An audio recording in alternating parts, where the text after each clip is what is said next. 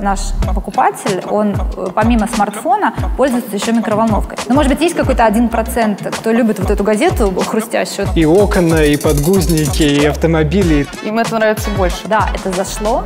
А вот эти ужасы ритейла. Никто никого не насилует, да? Но зачем? Чуть-чуть сложнее стало. Но в целом, как бы мы всегда так живем. Мы рядом.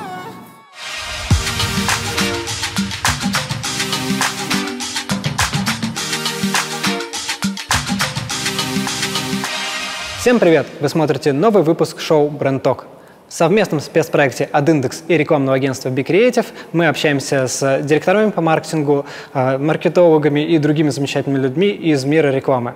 Я редактор спецпроектов «Адиндекс» Ярослав Макаров, со мной моя сведущая Дарья Сумина, генеральный директор рекламного агентства Be Creative – и сегодня у нас в гостях начальник отдела медиа и пиар компании «Связной» Екатерина Климова. Здравствуйте, Екатерина. Здравствуйте, Ярослав. Здравствуйте, Дарья. Первое, что хочется спросить, это даже, наверное, не про карьерный путь, э, который был тернистый, о чем мы обязательно поговорим дальше, а о том, что вы работаете в компании «Связной» уже последние три года.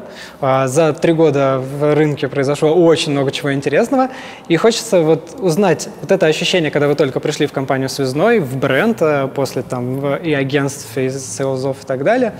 И вот это вот, насколько у вас были первые впечатления от бренда, какие они были, как у вас изменилось это ощущение, или, может быть, не изменились, так и осталось? В принципе, хорошее впечатление, оно сформировалось уже на уровне первого визита, общения с топ-менеджментом. Потому что это оказались совершенно такие либерально-демократические нормальные ребята, которые, в принципе, ну, другое немножко мнение было о ритейле у меня да, потому что а, вот эти ужасы ритейла, которые что там э, большие дядьки ходят, э, там без стука заходят в кабинеты, вот этого всего я не ощутила, а наоборот такая очень дружественная атмосфера а, и была, и есть. Э, возможность всегда достучаться до первых лиц компании любому рядовому сотруднику. То есть политика открытых дверей. Да, это политика открытых дверей и, в принципе, такой демократичный, приятный настрой. А сейчас, ну, ничего не изменилось изменилось с точки зрения вот этих всех опций, которые я озвучила. Единственное, мы а, продолжаем оставаться на удаленном доступе после 2020 года, и э, здесь э, такой как бы органический процесс. Если никто никого не насилует, да, если люди хотят, они ходят в офис, если им так комфортно. Если люди, а, как бы КПД у них выше при нахождении там дома либо в коворкинге, да, они экономят время там на дороге и каких-то... Все говорят, что сейчас э, это им это нравится больше, очень да. многие люди. Ну, э, понятное дело, что тут стал безразмерный рабочий день, а, суббота, воскресенье, но мне кажется, знаете, маркетинг, он на то и маркетинг, что он, в принципе, не отдыхает, а, да. потому что там, новости, а, мировая экономика, какие-то вещи, там просто события, они никого не ждут, и у них нет суббот, воскресений и перерывов на обед. Поэтому, в принципе, для нас, а, для сотрудников отдела маркетинга, мало что кардинальным образом поменялось. Просто у нас теперь есть возможность, там, например, в пандемию я завела собаку. вот, который бы я никогда в жизни не завела. И есть время с ней гулять. Да, я могу с ней гулять. Понятно, что это исключ... ни, в коем случае не в ущерб э, там, рабочему времени. Э, или, например, еще более там, такой глубокий момент для меня, я не ходила в декрет. У меня в 2020 году, да, родился сын, и я, по сути, там, ну, я была в декрете там чисто формально, там, две недели, да, и дальше, в общем, ну, удаленка дала мне э, дополнительные возможности, которые бы э, мне не предоставились, будучи вот э, в офисе. Вы до этого работали в крупных медийных агентствах. Вот очень интересно, как вы сделали все-таки вот этот шаг со стороны агентства на сторону клиента, потому что я знаю огромное количество людей, и либо люди всю жизнь агентская сторона, либо люди всю жизнь клиентская сторона. И это не так-то просто на самом деле сделать. Как вам это удалось? Ну, э, для меня это достаточно логичный э, шаг вот этой профессиональной эволюции. И как раз, мне кажется, кто как не там, аккаунт-директор либо аккаунт-лид из медиагентства э, доподлинно знает все боли, нужды и запросы клиента, как Да, а, после То есть работы... вам сейчас этот агентский опыт, он вам помогает? Да, несмотря на то, что он у меня был не такой какой-то прям глубинный, я, в общем, в медиагентстве проработала меньше года, а, и до этого там у меня такой опыт больше 360 даже, можно сказать, потому что я работала и там на стороне поставщика, и на стороне селлера, и в целом а, у меня картинка как бы вот круг замкнулся, то есть она такая объемная, и, в принципе, я и с этого угла посмотрела на э, рынок, и с этого, и вот в итоге дошла до а, работы на стороне клиента. Ну, действительно, на стороне клиента работать э, даже по-другому. По-другому. Не в том плане, что там мы распоряжаемся там рекламным бюджет, бюджетами и так далее. Нет. А в том, что ты э, как бы у истоков находишься, и ты видишь весь вот этот вот а, путь того, как а твои задумки или же задумки там креативного отдела, они трансформируются вот в конкретные какие-то вещи, там, в продаже, а, в рост а, знаний, узнаваемости бренда и других метрик. Для людей, которые переходили из агентства, еще очень часто такое преимущество в работе на бренд, то, что когда ты работаешь в агентстве, у тебя сразу плеяда брендов, и мозг иногда просто разрывается, потому что у тебя здесь и окна, и подгузники, и автомобили, и ты все это укладываешь в голове, который трещит по швам. А когда бренд, ты все-таки как-то вот сфокусирован. У тебя вот есть вот Ритейл, digital, мы продаем вот это, все, я буду думать только об этом. Мой мозг спокойно. Ну, на самом деле, подумать вообще никогда не лишнее, ни для кого. И мне кажется, а как раз когда у тебя несколько сегментов, и ты в них разбираешься и плаваешь там как рыба в воде, это дает тоже дополнительный кругозор, необходимый для а, работы э, именно когда ты приходишь на сторону клиента. Хотя у нас такое количество партнеров и такое количество различных э, как бы ветвей бизнеса, что, в принципе, там сосредоточиться на чем-то одном, это так, такое себе да, занятие. Это достаточно сложно. На многозадачность. Да. да, это такая многозадачность. А вот опишите свой там, классический рабочий день и, в принципе, обязанности, которые лежат перед вами, потому что даже если спросить двух директоров по маркетингу, даже у них будет абсолютно разный пол задач, а когда это еще вот работа и с медиа, и с пиар, тут, наверное, вообще ну, раздолье. задача у меня простая, а, как потратить как а, э, можно меньше рекламных затрат для получения как можно а, большего результата, такого как знание, ну, то есть я могу там, например, просто сейчас вспомнить, что у меня в KPI квартальных стоит. Это обеспечение всего цикла размещения рекламных кампаний, это пиар-активности. Естественно, это все поставлено по смарту с какими-то конкретными цифрами и э, затратами на это. А, ну и, конечно, э, обеспечение работы команды. А как сейчас устроена структура внутри компании? То есть у вас есть пиар и медиа отдел, это отдельная история. Есть маркетинг, как вы внутри взаимодействуете? Ну, конечно, да. Медиа и пиар, естественно, как мы учили в институте, это неотъемлемая часть интегрированных маркетинговых коммуникаций, поэтому мы, конечно, подчиняемся вице-президенту по маркетингу и вице-президент по маркетингу уже подчиняется SEO компании. Ваше дело занимается размещением в основном, да, креатива? Да. То есть креатив вам сдает маркетинг, а вы уже а, креатив дальше нам сдает медиа. креативный отдел, мы его оттуда забираем так. и э, размещаемся через наше медийное агентство. А пиар-агентства э, у нас нет, у нас пиар э, такой in-house полностью, соответственно, мы общаемся с федеральными СМИ, там, с бизнес-СМИ, с лайфстайл-СМИ, и, как правило, делаем это там с минимальными затратами. Ну, потому что а, платный пиар это как бы любой дурак может делать, да. Вы это уже не пиар и реклама. Да, это уже реклама. Ну, как бы заказные статьи, это любой там напишет, это вообще не проблема. А ты попробуй вот э, без бюджета э, держи там уровень цитируемости, охват, и, и чтобы это еще было все в нейтральном, э, в нейтральной интонации, чтобы не было негатива и прочего. А креатив in-house, как вам кажется, это хорошее решение? То есть, ну, вы понимаете, что я имею в виду, потому что все равно, наверное, одна и та же команда не может все время выдавать какие-то супер вещи. А команда в любом случае все время трансформируется, и э, приходят какие-то новые люди, дают новые, новую струю, да, какую-то свежую, да, новую креативную мысль. А плюс э, у нас э, было креативное агентство, которое вот э, мы прекратили, э, ну, оно прекратило существование свое, и мы, в общем, э, завели завели э, креатив in-house.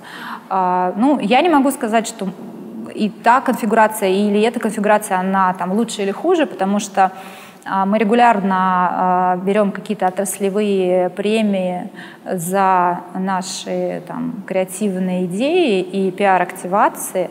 А в прошлом году мы заняли на Эфе третье место с активацией с солистом из Little Big, которого мы трудоустраивали по трудовой книжке, ну там был челлендж там, и так далее. Вот, такая долгая история, тоже на, отдельную на отдельную дискуссию. Вот, поэтому в целом и так, и так хорошо. Есть прям чтобы плохо было, вот я, честно говоря, не могу сказать. Плюс а, наши партнеры, к которым мы, наверное, сейчас тоже перейдем, а, вендоры, там, производители техники, они нам тоже задают определенные а, рамки да, креативные, внутри которых мы работаем ну, даже не рамки, а просто какие-то бенчи. Скорее, креативная рамка наша, вот, а бенчмарки вот э, тоже там определенные есть э, от партнеров, мы должны их соблюдать. Но на самом деле креатив — это все-таки не моя епархия, поэтому я, наверное, может быть, как-то не очень э, грамотно все это описываю, но в целом вот ситуация такая. Сегодня, в первую очередь, связной — это что? Это офлайн магазин у которого есть, помимо этого, какие-то продажи в digital, или это там уже в первую очередь digital, а потом офлайн магазин или это какой-то вот гибрид гибрид. Насколько в целом digital важен для связного? Может быть, там известно какой-то вот какой процент продаж приходит на ну, онлайн-ритейл? Да, это не какая-то закрытая информация. А процент продаж, он рас, распределяется примерно 70 на 30, потому что у нас очень большая филиальная сеть, это 2500 а, магазинов по России. И, а, конечно, digital для нас это приоритет, как и для любого нормального, здравомыслящего бренда, который сейчас вообще существует на рынке. Да? Ну, как бы как мы рассказываем про себя, связной это технологический ритейлер а э, какого-то там акцента определенного там digital либо офлайн а, сложно там сейчас про это говорить, потому что мы стараемся сделать а, клиентский путь а, наших, собственно говоря, посетителей максимально бесшовным. Человек может прийти в офлайн магазин проконсультироваться с продавцом, как, знаете, в старые времена говорили, подержать этот, посмотреть, как да, телефон да, да. смотрится в руке, сколько там он весит, насколько удобно им пользоваться, и э, прийти домой и заказать его через интернет-магазин с бесплатной доставкой. Либо же наоборот, человек полностью клиентский путь свой начинает и завершает в онлайне, либо же там э, ты идешь на работу или куда-то там в коворкинг или в кафе, на связной обычно рядом всегда, а, и ты заходишь в связной и думаешь, ну, а, в принципе, какой смысл мне сейчас что-то заказывать, куда заходить, вот, вот это я хочу, и я это куплю. Поэтому здесь, э, конечно, говорить, что у нас в приоритете, достаточно странно, потому что вот мы стараемся, чтобы вот эта бесшовность, она присутствовала присутствовала. Вот, например, когда говоришь там с Тиньковым, а, то они всегда поправляют то, что мы в первую очередь IT-компания, а как бы заодно банк. А вот здесь там и тот же Сбер стремится в первую очередь стать сейчас IT-компанией, а заодно как бы делать банк. А связной тоже стремится стать IT-компанией? Или вы все-таки в первую очередь ритейлер, просто у которого есть дополнительное цифровое развитие? Ну, понимаете, стремиться можно на самом деле к чему угодно. К чему угодно. Да. И, в общем, есть а, к чему ты не стремился, есть определенные метрики, по которым ты оцениваешь а, то, что про тебя думает а, покупатель. И э, уровень знания и как бы э, разрез этого знания связного говорит о том, что мы, конечно, филиальная сеть, что мы ритейлер, но при этом все знают, что у нас есть интернет-магазин который э, там, прекрасно работает, который там, способен обеспечить э, там, все потребности а, покупателя. Вот. Поэтому а, сказать, что мы стремимся как-то по-особенному там, себя называть, наверное, сложно. То, что там Сбер уходит от э, представления вот этого еще советского Сберкассы, наверное, это логично, да, а, и всячески уходит в разные, в разные digital там каналы, активации, интеграции, и, в принципе, вообще позиционирует себя для меня как вот экосистема, да. Вот, Тиньков, э, ну, тоже странно, почему это эти компании. Для меня это банк э, с удобной карточкой, когда ты переводишь Я деньги думаю, без процентов. Там речь про то, что мы вот настолько цифровые, что мы вот IT-компания, и у нас ну, даже своих отделений они нет. действительно очень цифровые, но мне кажется, IT-компания — это что-то совсем из другой оперы. Возможно. Ну, как говорится, у брендов есть возможность там э, всякие тест and learn решения воплощать, поэтому почему нет? Я очень давно знакома с компанией «Связной», много лет назад э, участвовала тоже в разработке, в съемке рекламных роликов, и до этого, в принципе, раньше всегда все рекламные кампании, они были сделаны совместно с вендорами, то есть это те бренды, которые у вас представлены, и они все были очень продуктовые. В принципе, последние коммуникации я смотрела, она тоже достаточно продуктовая. Вопрос, почему все-таки вот большие ритейлы не делают какой-то отдельной имиджевой истории, и это всегда какой-то совместный продукт вместе с брендами, которые у них. Это может какая-то, не знаю, тренд-категория или что это такое? Во-первых, а, все наши рекламные активности, да, они в основном копрома с нашими партнерами-вендорами, и мы э, выполняем определенные там таргеты с точки зрения коммерции. Вот, это первое. Второе, мы всегда э, делаем э, ролики так, чтобы э, выполнялась и функция имиджа связного, и, собственно, бренда, который рекламируется, и было какое-то обязательно промо, какое-то конкретное предложение, как, опять же, в курсе маркетинга говорилось УТП. А, потому что все это измеряется с точки зрения конверсии в продаже, даже офлайн реклама наша по определенным эконометрикам. И э, есть основания полагать, что вот это вот УТП, конкретный какой-то офер, он необходим абсолютно для того, чтобы эти продажи э, такие сложились на том уровне, которым, да, у нас э, ну, есть договоренности, да, и есть э, KPI. По поводу отношений с вендорами. В связи с последними несколькими месяцами жизни в новой реальности, как-то изменились отношения с вендорами? То есть часть компаний по-хорошему объявляли публично, что они уходят. Как это все отражается на связном и на вашем бизнесе? Ну, конечно, э, сейчас присутствует, мы наблюдаем некий, не некий, а действительно дефицит э, э, техники, электроники, но это случилось еще гораздо раньше, до всем известных событий, потому как в прошлом году такие вещи, как углеродный след, да, а, который удорожал стоимость логистики, логистики, э, дефицит комплектующих, там общая очередь в Китай, в которую все встали, да, там без каких-то э, преференций, это все уже э, давало понимание того, что будет не просто в этом году, и, в принципе, наверное, те какие-то меры, те заходы на какие-то альтернативные сегменты, а, там та же там, крупная бытовая техника, мелкая бытовая техника, услуги связного, это все нам дало некий такой буфер, какую-то подушку безопасности для того, чтобы когда вот случилось прям страшно, и кто-то сказал, что все, мы уходим с российского рынка, а не долбануло по нам вот прям сильно. Поэтому, в принципе, ну, компания существует, у компании нет каких-то сокращений, компания работает, функционирует в том же режиме, наверное, там, да, какие-то есть оптимизационные моменты, но в целом мы всегда смотрели по сторонам, что вот э, там рынок э, БУ, надо да, разрабатывать, опять же, громкий такой наш э, выход в феврале случился.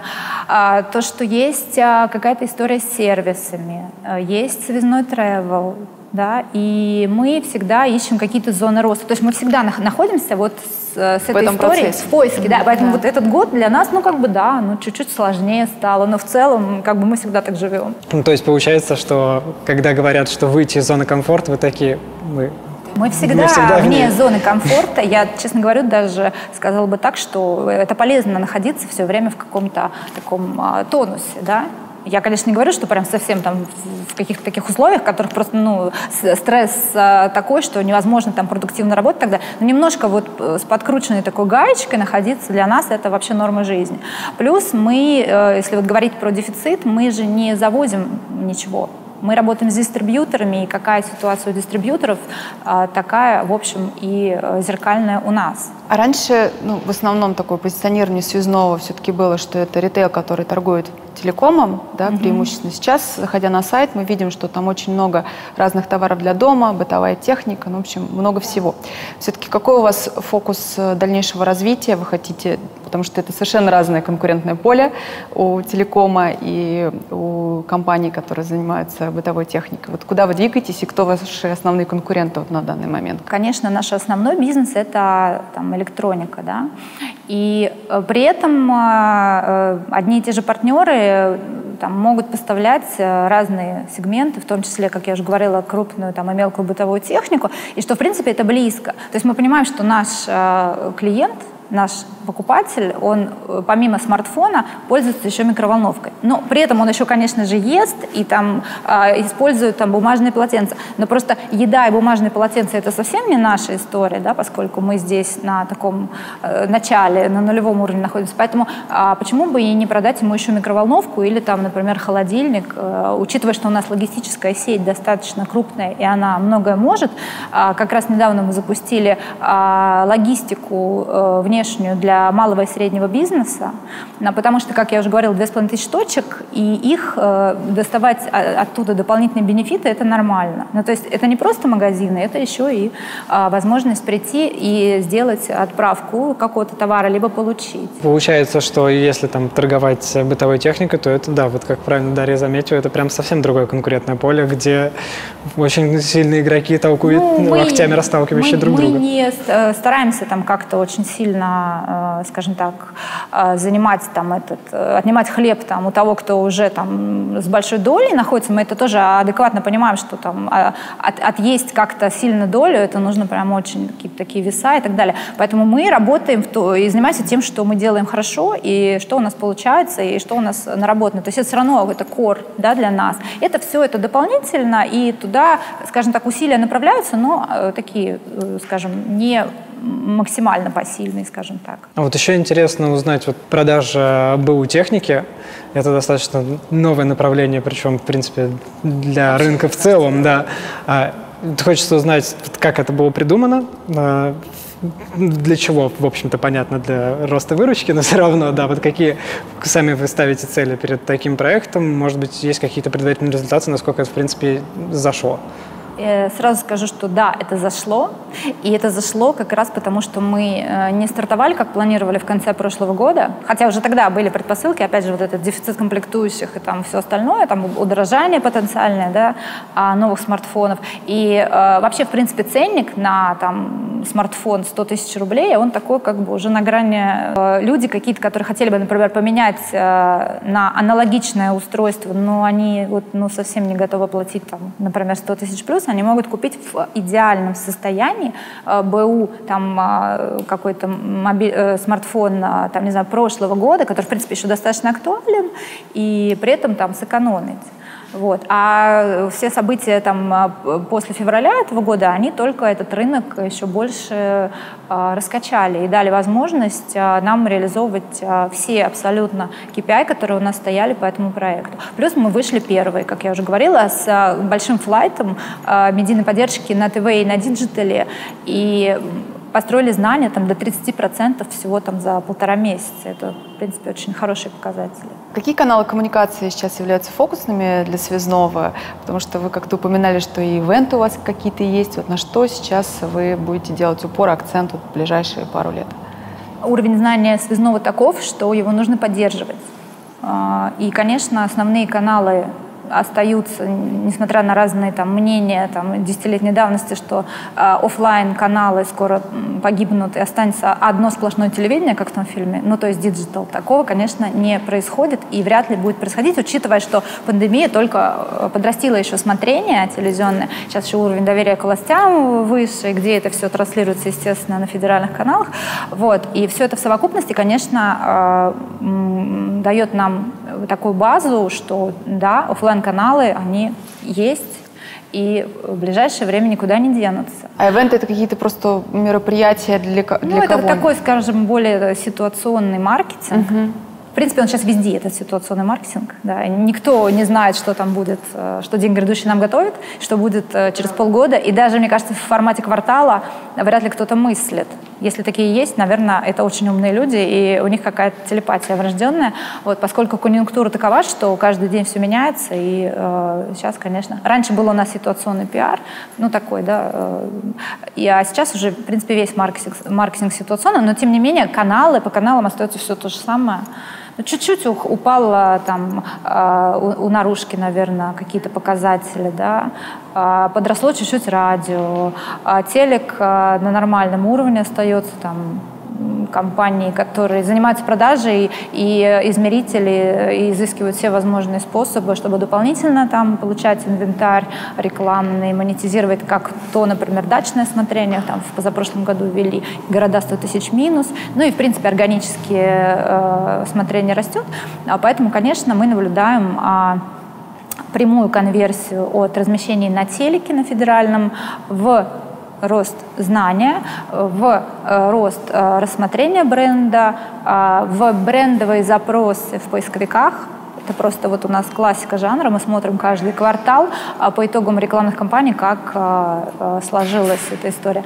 И, конечно же, это все потом через определенные воронки мы наблюдаем но на продажах. То есть вот идет график роста знания и там охваты, и сразу же идет конверсия в продаже не только в диджитале, но и в, в офлайне. Ну и, конечно, классические медиа мы достраиваем а, в диджитале для тех, кто а, не смотрит а, ТВ или смотрит его редко, или у кого нет ТВ или там телевизор сломался, как у меня, например. В списке классических медиаканалов мы не назвали прессу. А она разве есть еще?